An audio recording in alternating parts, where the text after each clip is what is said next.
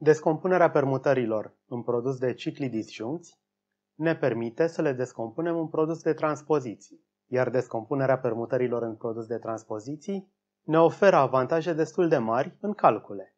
Hai să vedem cum descompunem aceste permutări în produs de cicli disjuncți și ulterior în produs de transpoziții. Să începem cu sigma. Sigma este permutarea ce îl ia pe 1 îl duce în 2, pe 2 în 3 și pe 3 în 1. Am terminat cu prima parte. Lipsesc 4, 5, 4 merge în 5 și 5 în 4, ceea ce înseamnă că sigma este produsul dintre ciclul de lungime 3, 1, 2, 3 și transpoziția 4, 5. În particular, acestea două sunt doi cicli disjuncți, deci comută. În paranteză, sunt cicli disjuncți. Și în continuare, descompunerea în produs de transpoziție cât se poate de facilă.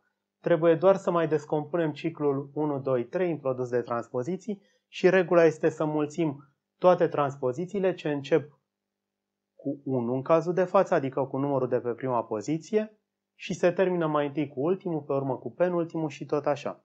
Deci 1, 2, 3 va fi 1, 3 produs cu 1, 2 și mai aveam de mulțit cu 4, 5. Aceasta este descompunerea în produs de cicli disjuncți inițial și apoi de transpoziții a lui sigma. Hai să ne ocupăm și de gamma. Gamma este permutarea ce îl duce pe 1 în 5, pe 5 în 2, pe 2 în 1, deci s-a încheiat un ciclu. Lipsesc 3, 4, hai să vedem. 3 merge în 3 și 4 în 4 sau 3 în 4 și 4 în 3? 3 merge în 4, ceea ce înseamnă că vom avea de mulțit acest ciclu de lungime 3 cu acest ciclu de lungime 2, care de fapt e o transpoziție. Și acum descompunerea în produs de transpoziții, păi 1, 5, 2 se scrie ca 1, 2 ori 1, 5, 1, 2 ori 1, 5 și mai avem de mulțit cu 3, 4. Aceasta este o descompunere în produs de transpoziție a lui gamma. Nu e unica, dar o metodă de a descompune permutări în produs de transpoziții este aceasta. Hai să verificăm prima descompunere. Mai întâi, o fi adevărat că 1, 3 ori 1, 2 este 1, 2, 3? Cine era 1, 3? E transpoziția din S5. Deci permutarea 1, 2, 3, 4, 5 mergând. 1 merge în 3, 3 în 1 și restul rămân neschimbate, adică 2 în 2, 4 în 4, 5 în 5. Trebuie să o compunem cu 1, 2, 3, 4, 5, 1, 2. Le duce pe 1 în 2 și pe 2 în 1 și pe restul le lasă neschimbate. 3, 4, 5. Și obținem 1, 2, 3, 4, 5, mergând. 1 în 2, 2 în 2, 2 în 1, 1 în 3, 3 în 3, 3 în 1. 4 în 4, 4 în 4. Și 5 în 5, 5 în 5. Acesta este 1 merge în 2, 2 merge în 3, 3 merge în 1. S-a închis un ciclu, iar 4, 5 rămân neschimbate. Deci este ciclul 1, 2, 3. Exact asta trebuia să arătăm. Că 1, 3 ori 1, 2 este 1, 2, 3. O fi adevărată și această descompunere a lui sigma în produs de cicli disjuncți. Hai să vedem. Trebuie să calculăm 1, 2, 3 ori 4, 5. 1, 2, 3 le duce pe 1, 2, 3 în 2, 3, 1 și pe 4, 5 le lasă neschimbate. Iar 4, 5 le duce pe 1, 2, 3 în 1, 2, 3 și le schimbă doar pe 4, 5. După cum vedeți, zona în care se produc modificări în transpoziția 4-5 nu are nicio legătură cu zona în care se produc modificări în ciclu 1-2-3. Din această cauză, compunerea ciclilor disjuncți e comutativă. Rezultatul va fi compus din aceste schimbări, 1, 2, 3 mergând 2, 3, 1, și aceste schimbări. 4, 5 merg în 5, 4. Așadar, nu e de mirare că și 4, 5 ori 1, 2, 3 dă tot atât.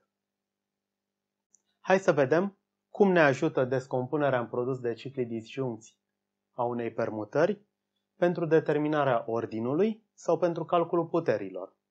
Vom începe cu calculul ordinului. Deoarece sigma se descompune ca produs de cicli disjuncți ca 1, 2, 3 ori 4, 5, o să notăm ciclii cu alfa, respectiv beta. Cum ordinul lui alfa coincide cu lungimea lui alfa și e 3, iar ordinul lui beta coincide cu lungimea lui beta și e 2, întrucât 2 și 3 sunt prime între ele, iar alfa, beta sunt cicli disjuncți, obținem că ordinul lui sigma este cel mai mic multiplu comun al celor două ordine. Este cel mai mic multiplu comun al lui 2 și 3 și aici intervine faptul că 2 și 3 sunt prime între ele și cel mai mic multiplu comun va fi 6. Și în felul acesta am rezolvat subpunctul C. Putem să folosim subpunctul C pentru a rezolva D-ul, nu? La subpunctul D trebuie să calculăm sigma la 2019. Aceasta este sigma la 2016, adică 6 ori 336, plus 3. Și atunci va fi sigma la a 6 totul la 336, ori sigma la a 3 -a. Și întrucât sigma la a 6 este identitatea, obținem că sigma la 2019, fiind identitatea ori sigma la a treia, e sigma la a treia. Cum îl calculăm pe sigma la a treia? Am putea să-l calculăm înmulțind sigma cu el însuși de 3 ori. Dar avem ceva mai bun de atât. Sigma este descompus ca produs de cicli disjuncți. Întrucât sigma este alfa ori beta și întrucât alfa, beta sunt cicli disjuncți.